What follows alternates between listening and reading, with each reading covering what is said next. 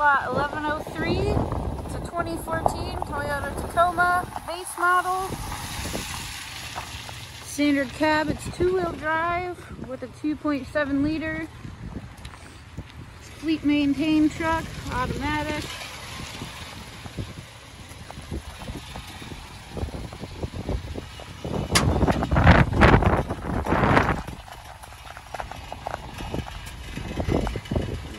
Nice toolbox in the back.